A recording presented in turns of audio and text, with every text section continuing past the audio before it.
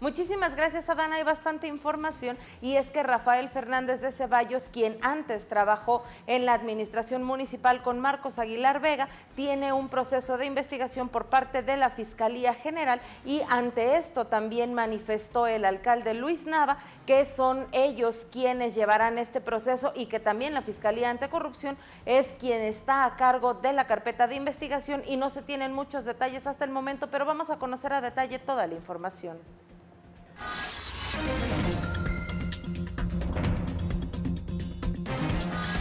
Ante el señalamiento que tiene la Fiscalía General del Estado contra Rafael Fernández de Ceballos, ex secretario de Ayuntamiento en la pasada administración del municipio de Querétaro. El alcalde Luis Bernardo Navas indicó que será la Fiscalía Anticorrupción la encargada de determinar si existen o no responsabilidades que le puedan ser fincadas a este ex servidor público, pues el ayuntamiento solamente realiza la denuncia correspondiente y esta es turnada a la Fiscalía para que sea quien determine si existe o no un hecho delictivo.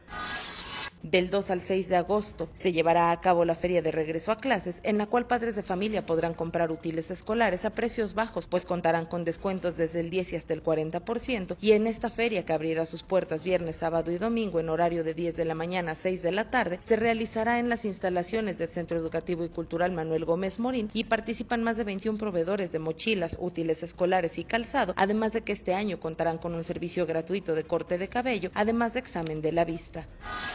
Policías de la Secretaría de Seguridad Pública Municipal de Querétaro continúan haciendo llegar a ciudadanas y ciudadanos información mediante la cual se fortalece su participación. El titular de esta dependencia, Juan Luis Ferrusca Ortiz, en compañía de directivos, personal policial y de prevención y participación ciudadana, compartieron con locatarios y visitantes de tianguis y mercados 12 recomendaciones para defender Querétaro mediante sus reportes a las líneas de emergencias 911 y 089.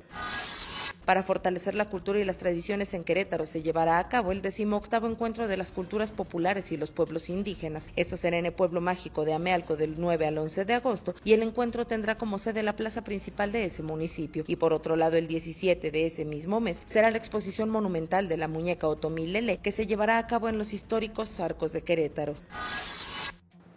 Muchísimas gracias, Adán. Hasta aquí la información de las breves y regresamos contigo del otro lado del estudio.